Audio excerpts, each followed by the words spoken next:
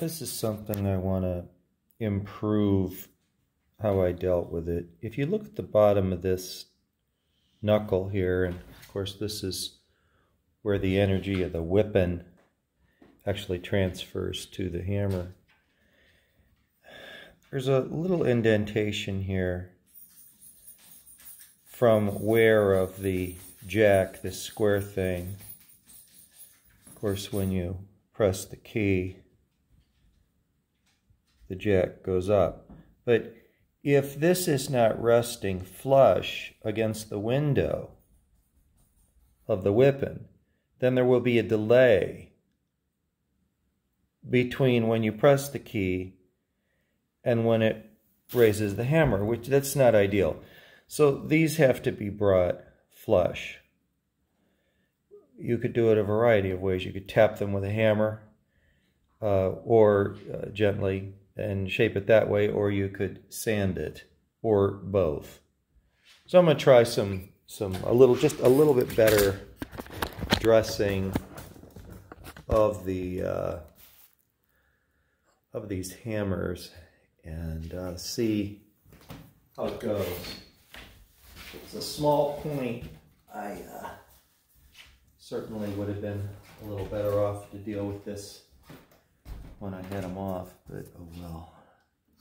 So I just want to take, I can take them one at a time like this and just make sure that uh, that edge is off as best I can do it.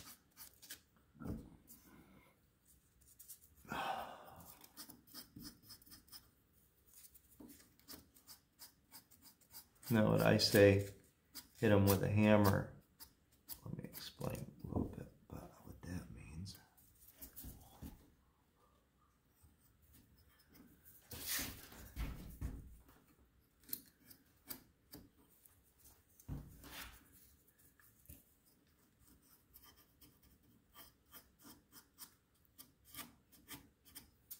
So one question I have is where, where does it hit? Okay, it comes, it's really kind of the under area here is where it contacts. Let me uh, grab a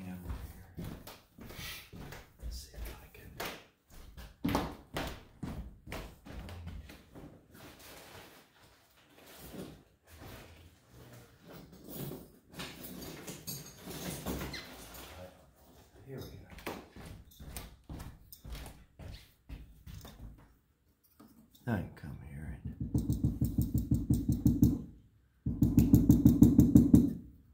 that's a good method too.